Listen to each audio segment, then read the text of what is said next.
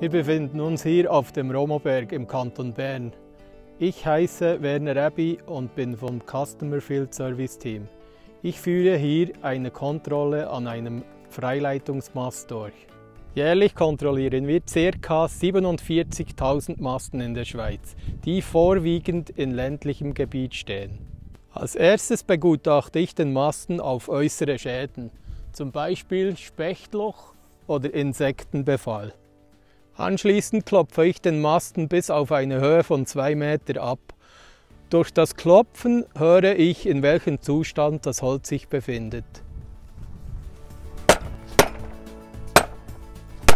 Wir hören hier einen hellen Ton, das heißt, das Holz ist in einem guten Zustand. Wir stoßen den Masten in Leitungsrichtung. Durch ein Knacken wäre das ein Anzeichen von Fäulnis. Die wichtigste Kontrolle folgt jetzt mit dem Holzprüfgerät. Wir machen jetzt drei Bohrungen. Die erste ist die Durchmesserbohrung, um den Durchmesser des Mastes zu ermitteln.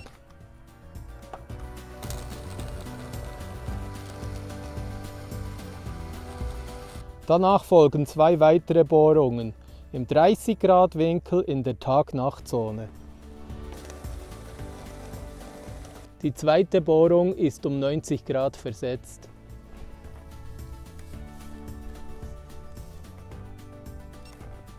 Wir sind jetzt mit den Bohrungen durch und auf dem Holzprüfgerät wird das Ergebnis als gut angezeigt.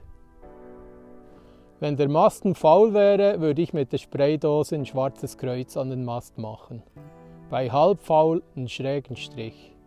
Jetzt sind alle Kontrollen durchgeführt und die Messresultate vom Prüfgerät werden auf mein Tablet in meine App der Pool Inspektor übertragen.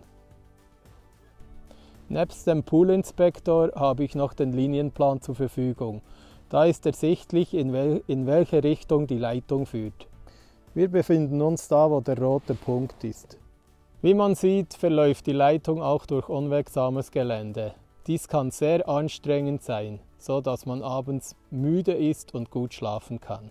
So, jetzt habe ich die Kontrolle an dem Masten ausgeführt und jetzt kommen die nächsten 30 Stück.